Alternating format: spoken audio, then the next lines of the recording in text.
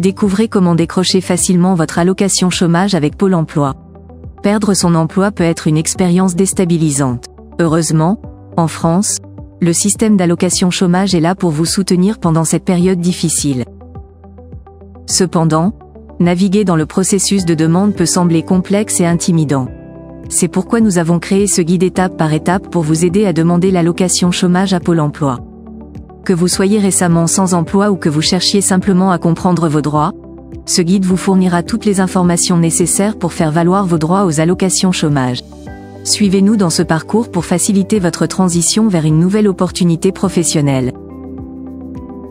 Comprendre l'allocation d'aide au retour à l'emploi, AR, et ses conditions d'éligibilité. L'allocation d'aide au retour à l'emploi, AR, est une aide financière accordée par Pôle emploi aux personnes ayant perdu leur emploi de manière involontaire. Pour y prétendre, sept conditions doivent être remplies.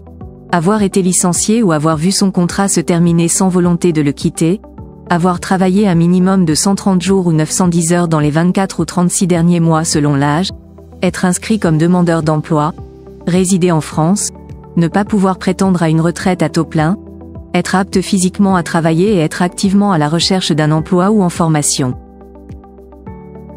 Inscription comme demandeur d'emploi et demande d'art. Pour bénéficier de l'art, il est nécessaire de s'inscrire comme demandeur d'emploi auprès de Pôle emploi dans les 12 mois suivant la fin du contrat de travail.